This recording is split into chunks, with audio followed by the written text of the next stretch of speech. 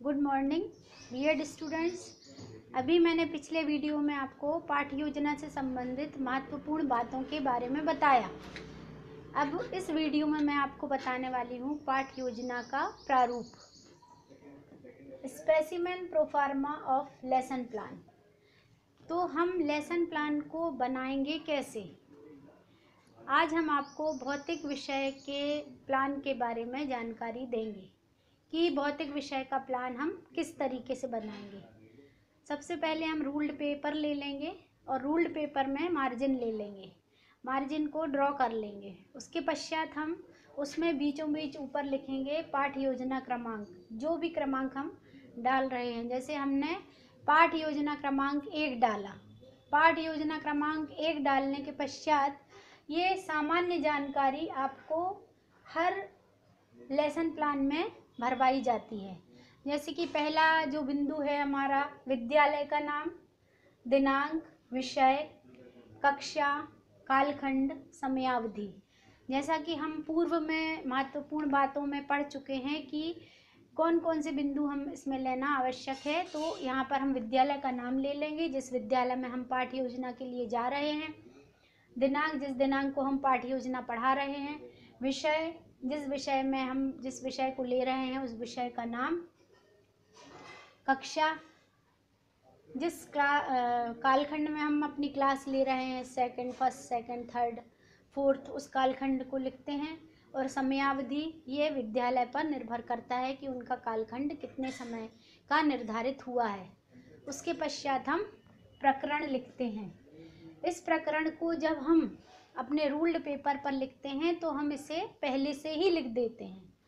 लेकिन जब हम अध्यापन कार्य कराते हैं पाठ योजना को लेके तो बोर्ड पर इस प्रकरण को हम प्रस्तावना प्रश्नों के बाद लिखते हैं। एक बार और आप ध्यान से सुन लें। जब हम रूल्ड पेपर में अपनी पाठ्य योजना को लिख रहे होते हैं तो सारे बिंदु हम पहले ही पूर्ण कर लेते हैं। परंतु जब हम अपनी पाठ योजना को कक्षा में कार्यान्वित करते हैं, उस समय पर प्रकरण हम प्रस्तावना प्रश्नों को पूछने के पश्चात हम इस प्रकरण को लिखते हैं। नेक्स्ट स्टेप अप हमारा आता है सामान्य उद्देश्य।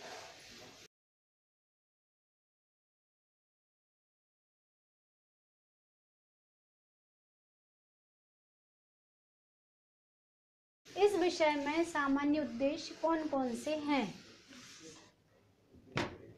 सामान्य उद्देश्य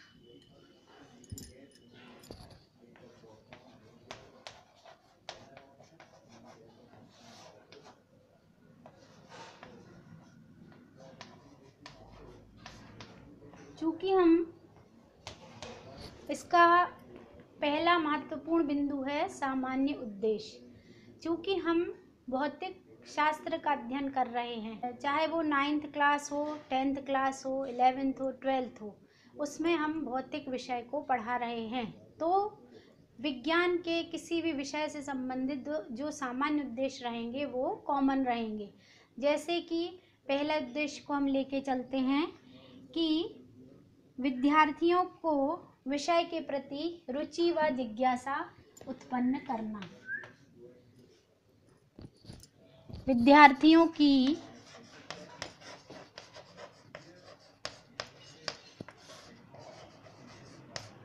विषय के प्रति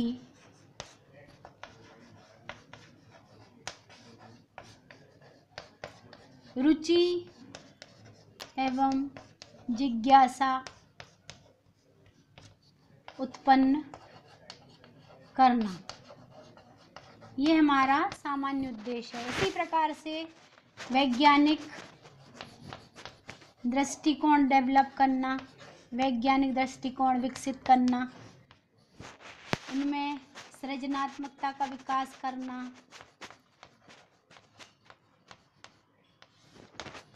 उनमें तार्किक योग्यता का विकास करना। उनमें विज्ञान विषय के प्रति रुचि पैदा करना, इस तरह से हम सामान्य उद्देश्य लगभग पाँच अपने उस रूल्ड पेपर में लिख लेते हैं। और मुख्य बात यह है कि जो सामान्य उद्देश्य हैं, वो सारी पाठ्य योजनाओं में एक से रहते हैं। उसके बाद हम आते हैं नेक्स्ट विशिष्ट उद्देश्य पर।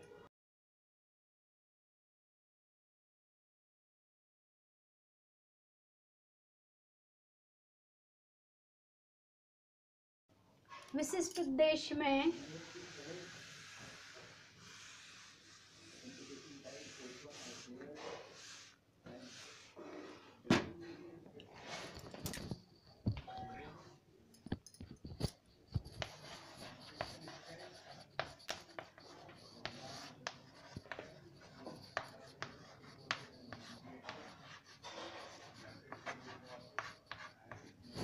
जिस उद्देश्य को लेकर हमने पाठ योजना पूर्ण की है या हमें पाठ योजना पूर्ण करना है, उस उद्देश्य को लेकर हम यहाँ पर लिखते हैं।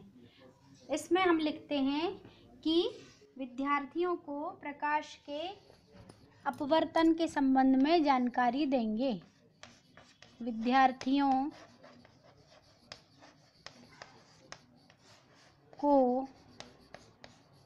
प्रकाश के अपवर्तन के संबंध में जानकारी देंगे।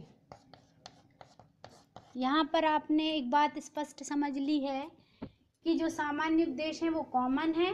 जो विशिष्ट उद्देश्य है, जिस उद्देश्य को हमने अपने प्रकरण में लिया है, वही हमारा विशिष्ट उद्देश्य होता है। विशिष्ट उद्देश्य को यहाँ पर हम इन्वर्टेड कॉमा में लिखते हैं। विद्यार्थियों को प्रकाश के अपवर्तन के संबंध में जानकारी देना। इसके पश्चात हम आते हैं सहायक सामग्री पर। तीसरा है सहायक सामग्री।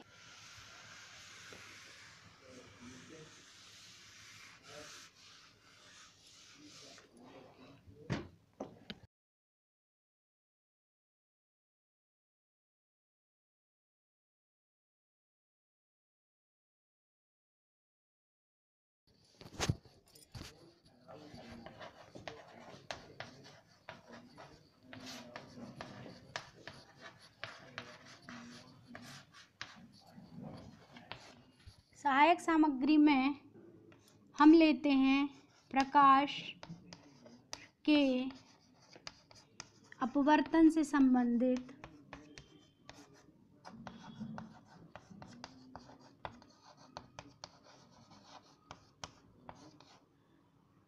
चार्ट या मॉडल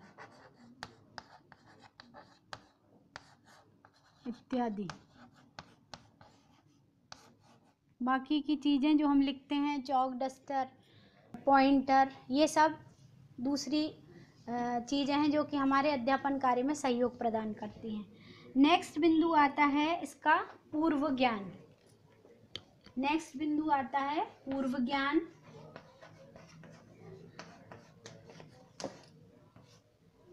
पूर्व ज्ञान में हम यह बताते हैं कि विद्यार्थियों ने प्रकाश से संबंधित जानकारी पिछली कक्षाओं में वह पढ़ चुका है। जैसे अभी हम पढ़ा रहे हैं प्रकाश का अपवर्तन तो निश्चित तौर पर वह विद्यार्थी पिछली कक्षाओं में प्रकाश के बारे में पढ़ चुका होगा कि प्रकाश क्या है, प्रकाश के स्रोत कौन कौन से हैं, प्राकृतिक प्रकाश, कृत्रिम प्रकाश किस प्रकार का होता है, इस तरह की जानकारी को हमें यहाँ पर लिखना है। पूर्व ज्ञान में विद्यार्थी इस प्रकरण से संबंधित जानकारी जो कि उन्हें पूर्व में ही ज्ञात है, वो रखते हैं। इसके पश्चात प्रस्तावना प्रश्न। पूर्व ज्ञान के बाद प्रस्तावना प्रश्नों को बनाया जाता है। प्रस्तावना प्रश्नों में दो कॉलम खींचे जाते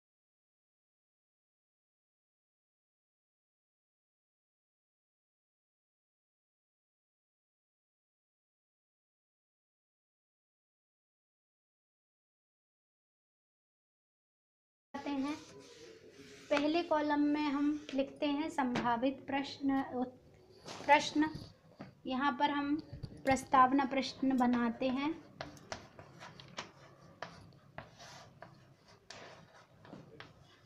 यहाँ पर हम हेडिंग लिखते हैं। यहाँ पे हम दो कॉलम लेते हैं। इन दो कॉलमों में यहाँ पर क्रमांक रहता है, यहाँ पर प्रश्न रहते हैं। और यहाँ पर संभावित उत्तर रहते हैं।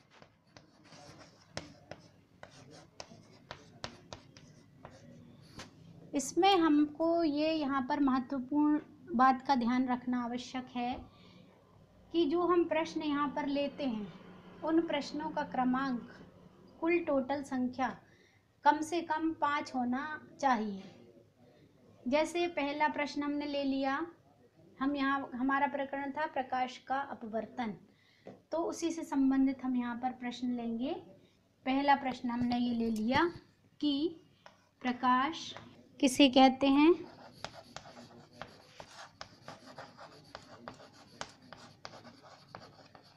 यहाँ पर बच्चे आपको जवाब देंगे कि जिसकी उपस्थिति में, जिस माध्यम की उपस्थिति में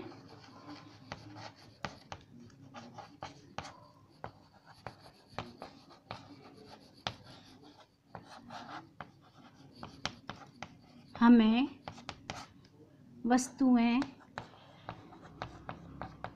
दिखाई देती हैं। वह प्रकाश कहलाता है। ये और दूसरी मुख्य बात यहाँ पर यह ध्यान रखना है कि हमारा प्रस्तावना प्रश्न सरल और सटीक और सरल भाषा में होना चाहिए। मतलब एक वाक्य में वह प्रश्न हो। जैसे प्रकाश किसे कहते हैं? इसी प्रकार से हमारा दूसरा प्रश्न होगा, प्रकाश के स्रोत कौन कौन से हैं? इसका जवाब भी बच्चे दे देंगे और ये आवश्यक है कि ये प्रश्न जो है, पूर्ण लिखा गया हो और उसका आंसर यहाँ पर हमें पूर्ण वाक्य में प्राप्त हो। जैसे दूसरा प्रश्न हमने बताया कि प्रकाश के स्रोत कौन कौन से होते हैं? यहाँ पर संभावित उत्तर में छात्र उत्तर देगा कि प्रकाश के स्रोत दो प्रकार के होते हैं। एक प्राकृतिक स्रोत होता है, वो कौन कौन से हैं? तीसरा प्रश्न हमारा आ जाएगा कि वो स्रोत कौन कौन से हैं? तो यहाँ पर हमारा आंसर आ जाएगा वो स्रोत हैं। एक तो है प्राकृतिक स्रोत और दूसरा है कृत्रिम स्रोत। उसके बाद नेक्स्ट हमारा आ जाएगा प्रकाश का अपवर्तन किसे कहते हैं? वहाँ पर हम ये महत्वपूर्ण बात का ध्यान रखेंगे। ये बात महत्वपूर्ण है कि प्रकाश का अपवर्तन जब हम पूछेंगे तो उस अपवर्तन में यहाँ पर हमें उत्तर प्राप्त नहीं होगा। यहाँ पर सभी छात्र जो हैं, निरुत्तर हो जाएँगे और यहाँ पर हमें समस्यात्मक प्रश्न प्राप्त होगा। इस समस्यात्मक प्रश्न को हम शिक्षक कथन में समझाते हुए लिखेंगे। शिक्षक कथन में इस प्रश्न को उत्तर को हम समझाते हुए लिखेंगे कि प्रकाश का अपवर्तन किसे कहते हैं, उसका आंसर हम इसमें देते हुए लिखेंगे।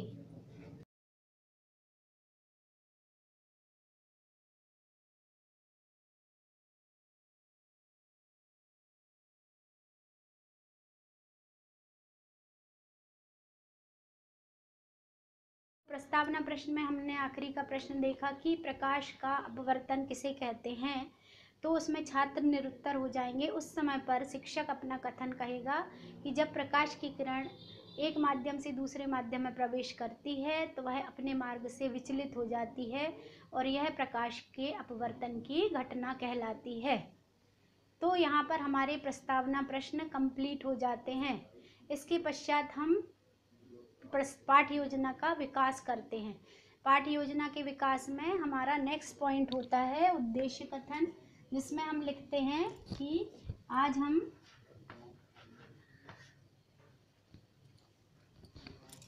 विद्यार्थियों को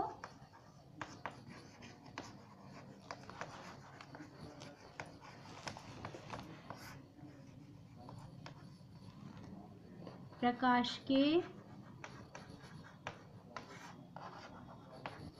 अपवर्तन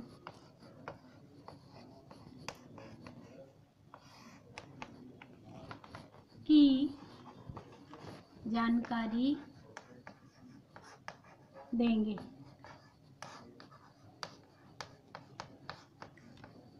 इसमें नेक्स्ट आता है प्रस्तुतिकरण, जो कि हम अभी पहले भी आपको बता चुके हैं कि प्रस्तुतिकरण इसका महत्वपूर्ण पद होता है। प्रस्तुतिकरण में हमारी पाठ योजना को हम दो प्रकार से विभाजित करते हैं। विषय का संगठन चूँकि बड़ा रहता है तो इस विषय के संगठन को हम दो इकाइयों में विभाजित कर देते हैं। पहले में हम लिख देते हैं कि विषय वस्तु को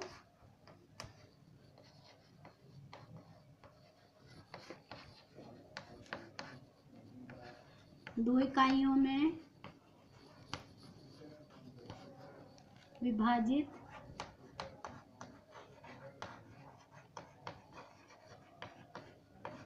करेंगे। पहला,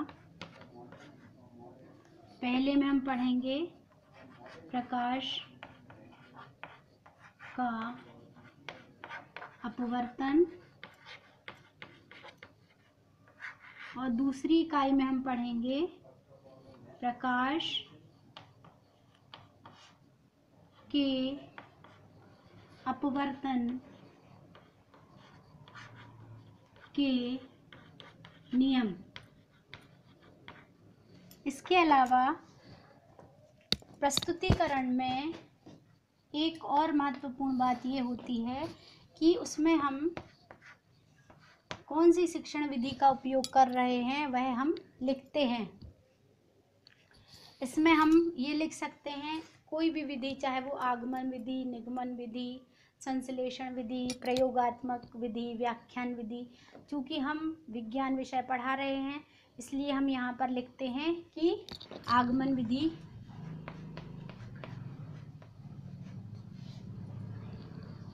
एवं निगमन विधि का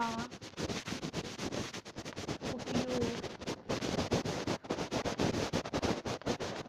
एवं प्रश्नोत्तर प्रविधि का उपयोग करेंगे। इस प्रकार से प्रस्तुतिकरण में पहला बिंदु हो गया विषय वस्तु को दो इकाइयों में विभाजित करना, जिसमें से प्रथम इकाई में हम पढ़ाएँगे प्रकाश का अपवर्तन, दूसरी इकाई में हम पढ़ाएँगे प्रकाश के अपवर्तन के नियम, और इसका मुख्य बिंदु जो दूसरा होता है उसको हम लिखेंगे आगमन एवं निगमन। विधि का उपयोग करते हुए प्रश्नोत्तर प्रविधि का उपयोग करेंगे। और हम प्रस्तुतिकरण की योजना को पूर्ण करेंगे।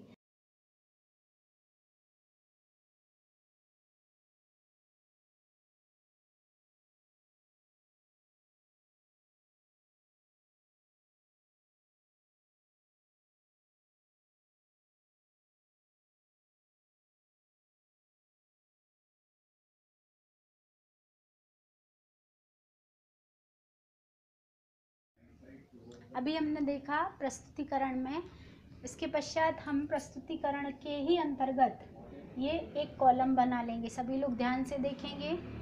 एक कॉलम बनाएँगे। इस कॉलम में विषय वस्तु लिखेंगे, व्यवहारगत परिवर्तन लिखेंगे यहाँ शिक्षण विधि लिखेंगे। इस शिक्षण विधि के अंतर्गत दो क्रियाएँ आएँगी, शिक्षक क्रिया, छात्र क्रिया। यहाँ पर लिखेंगे हम श्यामपट कार्य तो सबसे पहले हम विषय वस्तु में लेंगे अपना प्रकाश का अपवर्तन प्रकाश का अपवर्तन यहाँ पर हम लिखेंगे प्रथम इकाई। जैसा कि हमने प्रस्तुतिकरण में लिखा था। यहाँ पर व्यवहारगत परिवर्तन हम बाद में लिखेंगे। सबसे पहले हम यहाँ पर लिखेंगे कि छात्रों को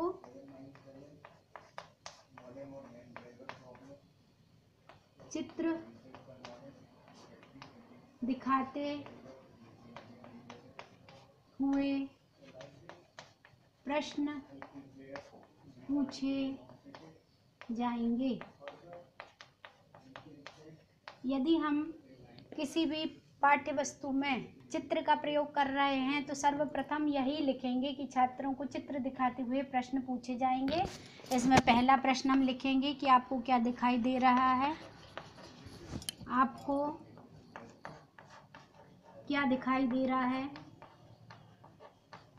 वहाँ पर छात्र आप बताएँगे कि हमें यहाँ पर प्रकाश से संबंधित चित्र दिखाई दे रहा है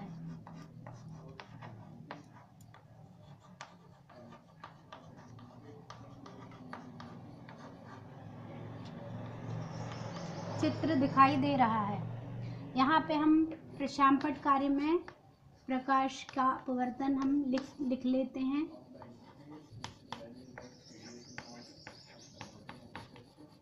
मान लो हमने इस प्रकार का चित्र रूलर बोर्ड में लाकर दिखाया है इसमें इस प्रकार की चित्र बना हुआ है। ये तो इस चित्र को दिखाते हुए कि चित्र में ए बी क्या है? ये सी और डी कौन सी रेखा है? डी और ई e किस प्रकार की रेखा है? ये कौन सा कोण है? ये किस प्रकार का कोण है? इस प्रकार से हम जब प्रस्तुतिकरण में प्रथम इकाई का प्रदर्शन करते हैं तो इस प्रकार के प्रश्न हमारे चित्र की सहायता से क्रमबद्ध बनते चले जाते हैं। पहला प्रश्न जैसे हमने बताया कि छात्रों को चित्र दिखाते हुए प्रश्न पूछे जाएँगे कि आपको क्या दिखाई दे रहा है तो छात्र उत्तर देंगे, प्रकाश के अपवर्तन का चित्र दिखाई दे रहा है। दूसरा प्रश्न हम ये पूछेंगे कि इसमें ए बी क्या है तो छात्र आप उत्तर देंगे कि ए बी आधार है। इसमें ये पी क्यू क्या है, इस प्रकार से आपके प्रत्येक प्रश्न का उत्तर इस चित्र के द्वारा आपको मिलता चला जाएगा। इस चित्र पर आधारित जो प्रश्न हैं, उन्हीं प्रश्नों को जब हम कंप्लीट करेंगे तो आखिर में हमारी प्रथम इकाई पूर्ण हो जाएगी। इस चित्र से ही सारे प्रश्न हम निकालेंगे और इस प्रश्न के आधार पर 10 से 15 प्रश्नों में हमारी प्रथम इकाई पूर्ण हो जाएगी। प्रथम इकाई पूर्ण होने के पश्चात हम सबसे इम्पोर्टेंट चीज़ है बोध प्रश्न लिखते हैं। चूँकि यहाँ पर जगह कम है तो हम आपको यहाँ बता देते हैं कि प्रथम इकाई के पश्चात हम बोध प्रश्न लिखते हैं। कॉम्प्रीहेंसिव क्वेश्चंस ये प्रथम इकाई के पश्चात लिखे जाते हैं।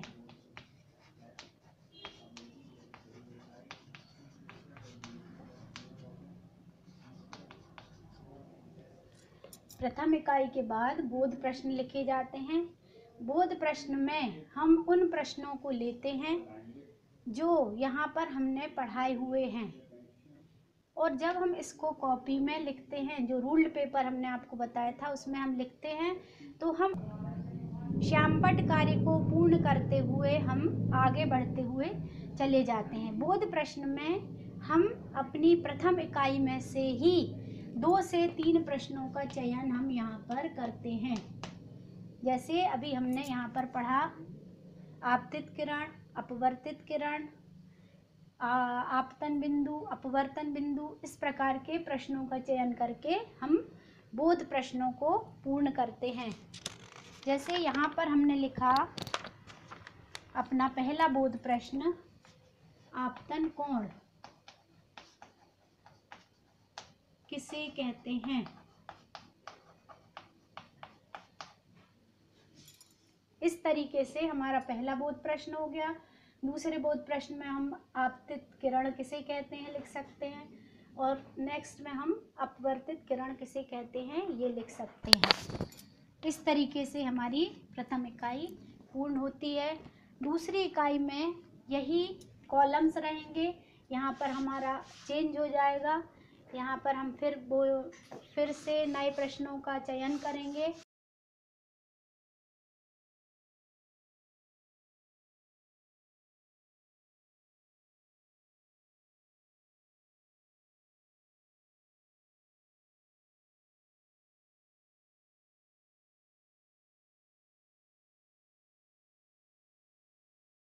और अपनी दूसरी इकाई को पूर्ण करेंगे। दूसरी इकाई में चूँकि हमने लिया था कि प्रकाश के अपवर्तन के नियम। प्रकाश अपवर्तन के नियम। तो यहाँ पर भी हम अच्छा ये हमने आपको नहीं बताया कि व्यवहारगत परिवर्तन में हम हमें क्या लिखना है। तो यहाँ पर चूँकि हमने चित्र का प्रयोग किया है तो यहाँ पर हम ये लिख सकते हैं कि छात्र चित्र के, चित्र को देखते हुए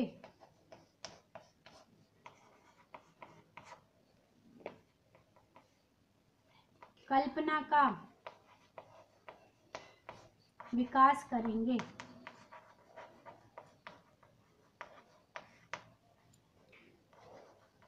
ये हम व्यवहारगत परिवर्तन लिख सकते हैं।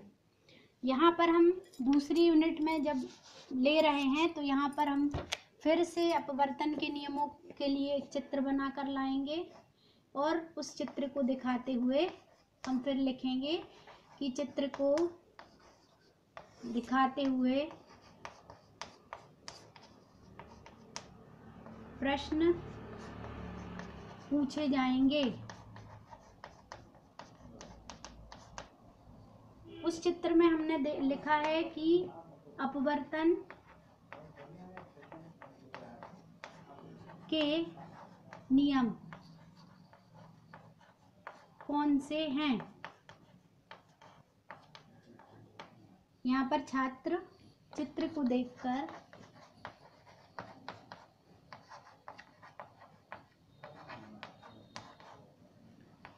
उत्तर देंगे। और यहाँ पर हम अपवर्तन के नियम लिखेंगे। पहला नियम लिखेंगे, दूसरा नियम लिखेंगे। इस प्रकार से हम इसके आधार पर अपने प्रश्नों का चयन करते हुए इस दूसरी इकाई को भी पूर्ण कर देंगे। दूसरी इकाई को पूर्ण करने के पश्चात हम इस इकाई के भी बोध प्रश्नों को पूछेंगे। इस इकाई के बोध प्रश्न पूछेंगे। उन बोध प्रश्नों में हम ये पूछ सकते हैं कि अपवर्तन के नियम कौन कौन से हैं और इसका सूत्र क्या है? दूसरी इकाई में भी, दूसरी इकाई के बाद भी बोध प्रश्न आएँगे। उन प्रश्नों की संख्या भी एक दो तीन लगभग रहेगी। जो हम पढ़ा चुके हैं से, सेकेंड यूनिट में उस यूनिट के ही बोध प्रश्नों का चयन हम यहाँ पर करेंगे। द्वितीय इकाई के पश्चात हम बोध प्रश्न लेते हैं। बोध प्रश्न में हम यहाँ पर फिर द्वितीय इकाई से संबंधित प्रश्नों का चयन करते हैं। एक दो तीन जो भी प्रश्न हमें यहाँ पर लेना है। बोध प्रश्नों से तात्पर्य यहाँ पर यह है कि जो हमने पाठ्य वस्तु पढ़ाई है प्रथम इकाई द्वितीय इकाई में तो प्रथम इकाई के प्र, बोध प्रश्न प्रथम इकाई में लिए थे और द्वितीय इकाई के बोध प्रश्न हम द्वितीय इकाई में लेंगे कि किन किस ज्ञान का बोध हुआ किन प्रश्नों के उत्तर विद्यार्थी सही तरीके से दे पा रहे हैं इस प्रकार से ये बोध प्रश्न हम पढ़ाएँगे।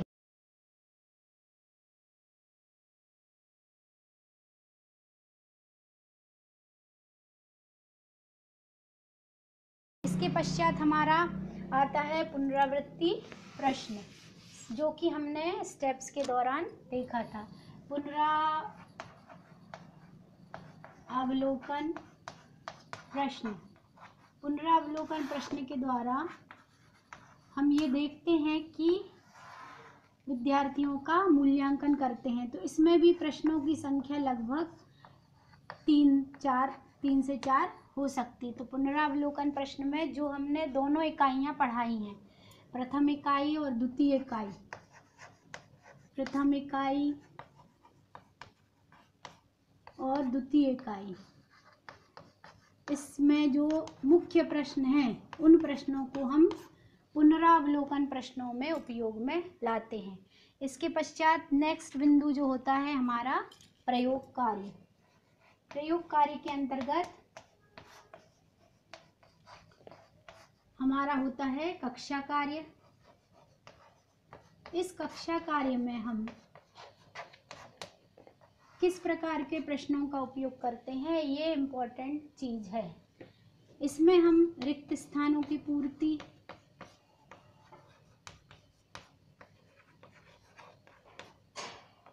इसमें हम सुनिष्ठ प्रश्न इसमें हम जोड़ी बनाओ प्रश्न। मैच द कॉलम इत्यादि प्रश्नों का उपयोग हम कर सकते हैं जो कि कक्षा में कम समय में पूर्ण हो जाएँ। जैसे रिक्त स्थानों की पूर्ति हमने दिया तो इसमें हम चार से पाँच शब्दों को उनको दे सकते हैं। दूसरा हमने वस्तुनिष्ठ प्रश्न दिया तो इसमें हम बहुविकल्पीय प्रश्नों को हम दे सकते हैं। और तीसरा हमने जोड़ी बनाव दिया तो इसमें भी हम मैच द कॉलम दे सकते हैं। इसके पश्चात लास्ट हमारा बिंदु आता है गृह कार्य। गृह कार्य में हम ऐसे प्रश्न का चयन करते हैं जो कि बच्चे घर से करके लाएँ और अगले दिन हम उनसे पूछ सकते हैं कि आपने गृह कार्य पूर्ण किया या नहीं किया, उसका हम चेक कर लें उसको। तो इस तरीके से गृह कार्य में हम ऐसे प्रश्नों को देते हैं। जैसे हमने कह दिया कि प्रकाश के अपवर्तन से संबंधित अनुप्रयोग लिखकर लाएँ। इस प्रकार से ये पाठ योजना इन सभी महत्वपूर्ण बिंदुओं के द्वारा पूर्ण होती है। गृह कार्य के पश्चात हम आखिरी में यहाँ पर अपने पेज में लिख देते हैं, छात्र अध्यापक या अध्यापिका के हस्ताक्षर और एक तरफ़ में विषय शिक्षक के हस्ताक्षर। इस प्रकार हमारी यहाँ पर पाठ योजना पूर्ण होती है।